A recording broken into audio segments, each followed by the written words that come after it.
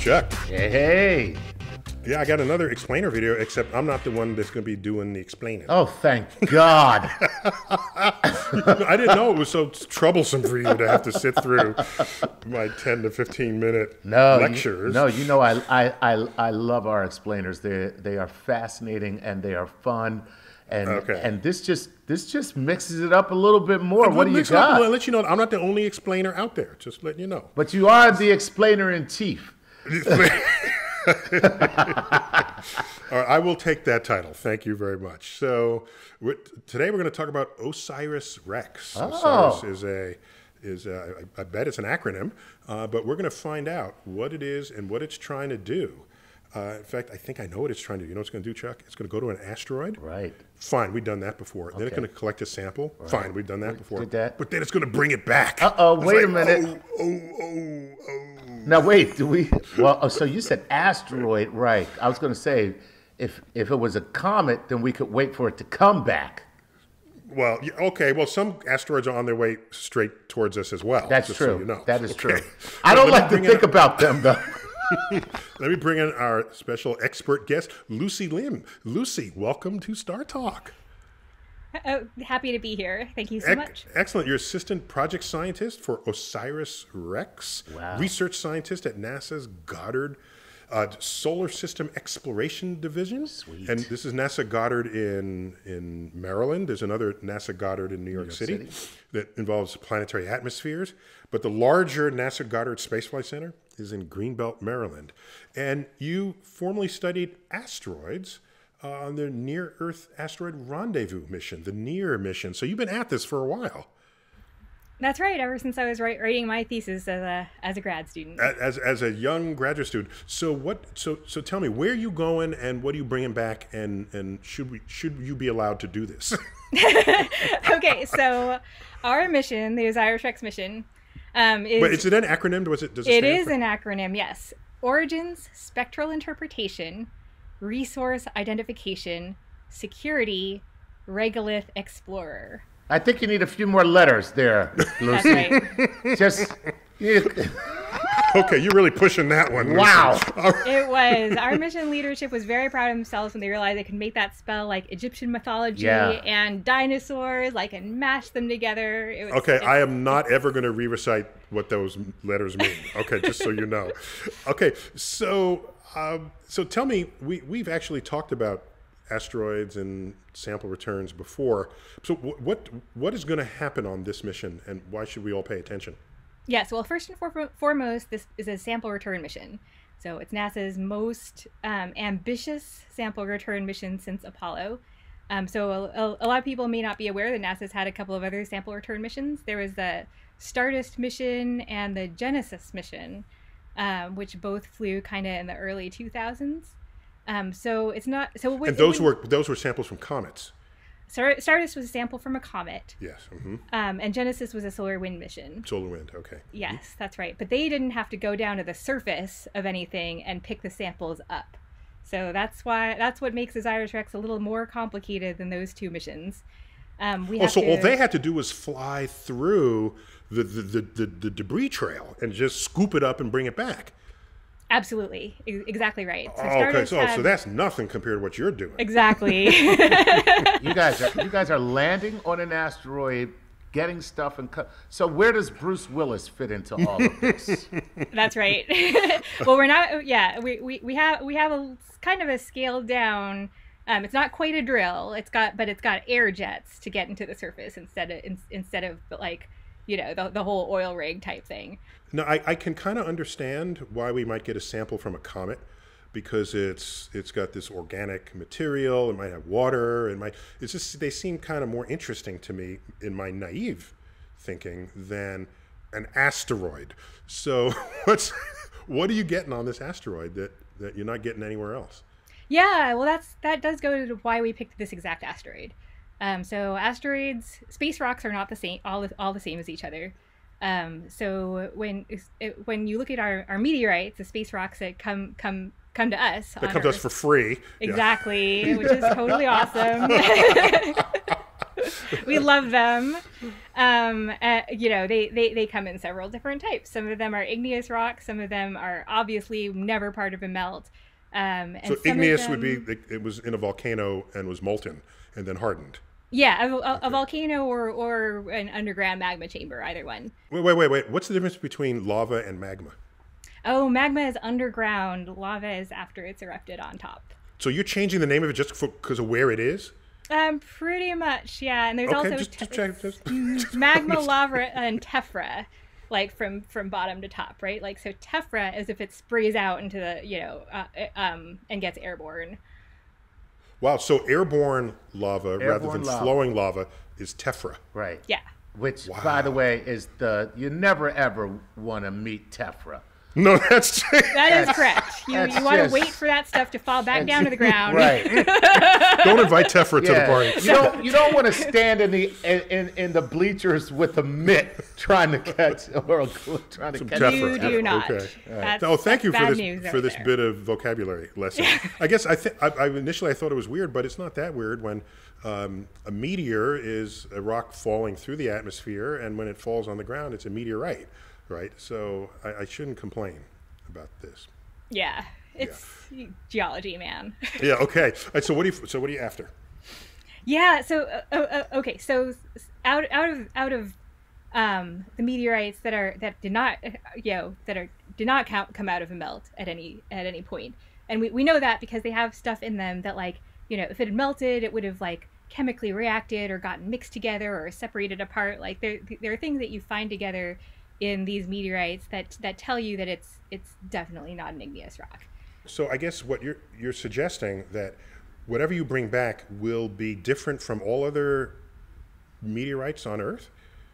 Um, it will certainly be different from what from the majority, but about okay. So when a meteorite falls falls to Earth, about four or five percent of the time, you get something that we that that we call carbonaceous. That like there's carbon and organic compounds and stuff in it, um, and So, you know so it's about- from, from life's point of view, it's interesting chemistry. very interesting, yeah. And then a couple percent of the time, you get something that also has hydration in it.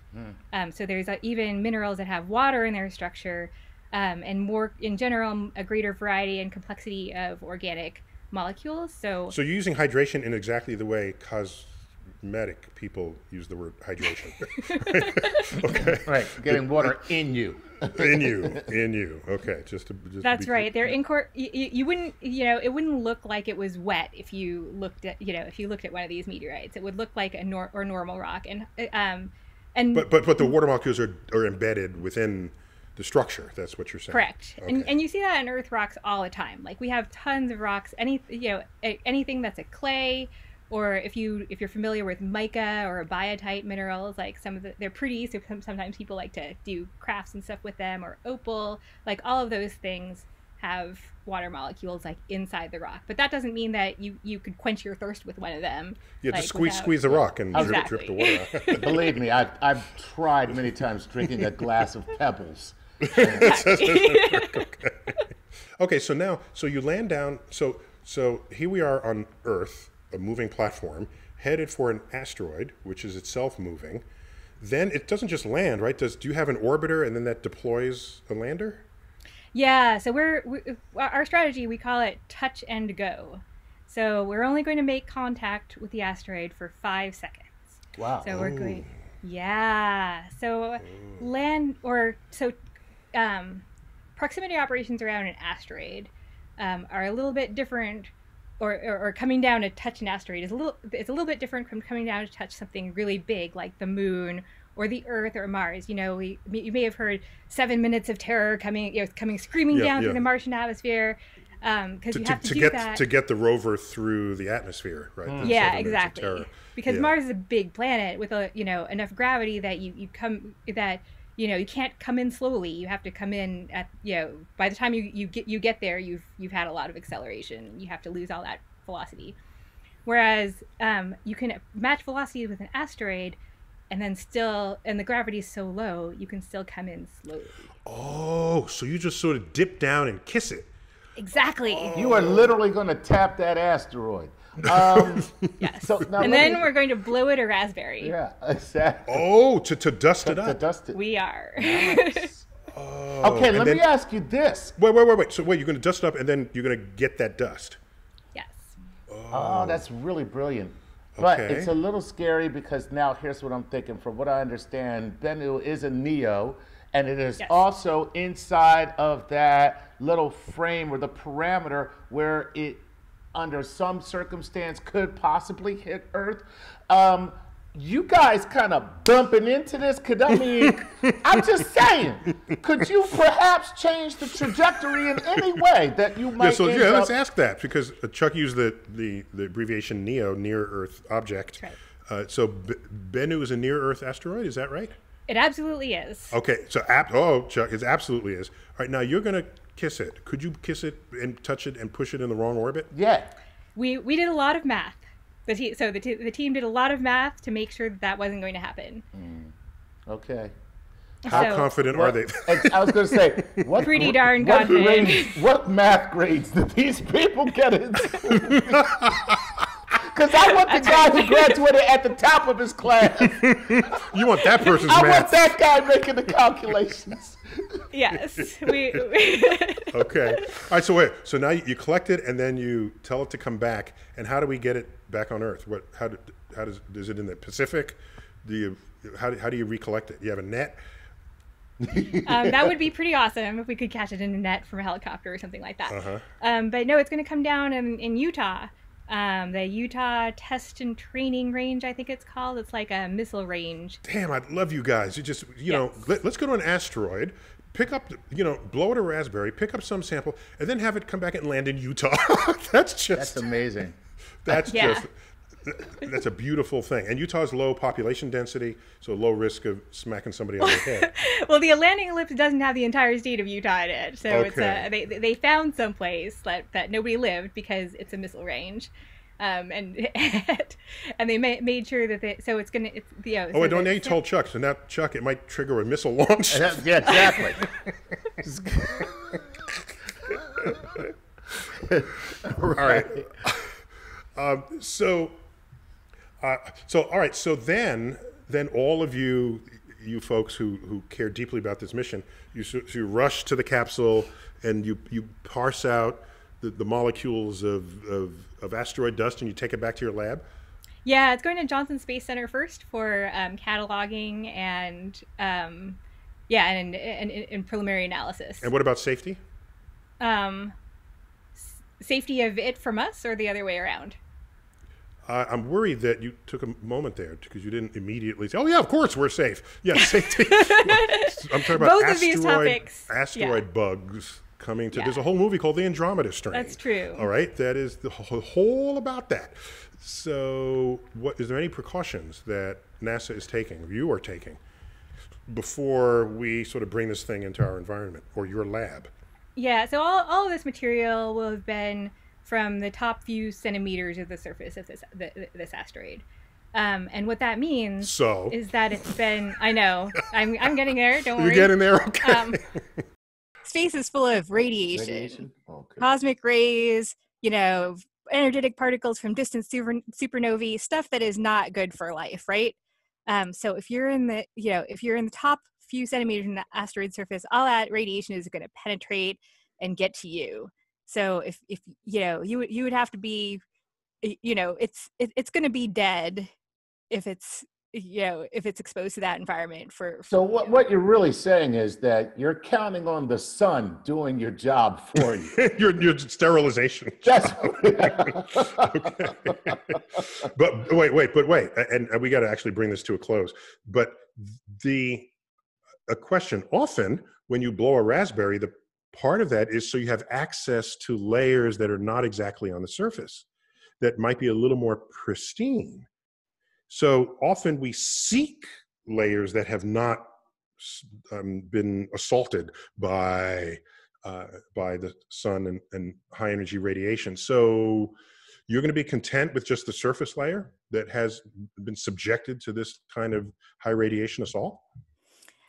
We are. I mean, the, it's Um, we do expect to find like a variety of you know what we call space weathering, which is the effect Yeah, of yeah, exposure okay, to space mhm. and space radi- radiation. Um, and you know, space weathering is a process that's scientifically interesting as as well. But there there should be plenty of you know whatever organic compounds are there. Does doing this put you in a position where, let's for the next time that you can go even further? Is that part of the mission as well? I think it really is, especially when we look at the interaction um, of the spacecraft with the surface, because there are a lot of unknowns, unknown unknowns there right now. Like, you know, how how strong is the surface? We have no idea. You know, how how Mhm. big a hole are the jets going to make in the surface? How many? You know, how, where are the boulders? Like, how far are those boulders going to fly? And, and you taking pictures the whole way so we can watch this happen? We are. Excellent. Um, they won't be downlinked until probably until the following day for. Until after they confirm that the aliens haven't. That's right. That's what we're going for. I know you NASA people. but guys, we got to uh, call it quits there. Uh, so Wow. listen, Lucy, good luck. Sometimes you need a little bit of that too. Uh-huh. And thanks for being on Star All right. Talk. Thank you so much. It was delightful. Excellent. Chuck, always good to have you, man. Such a pleasure. Yeah, StarTalk explainer video. Asteroid sample return. I'm Neil deGrasse Tyson. Keep looking up.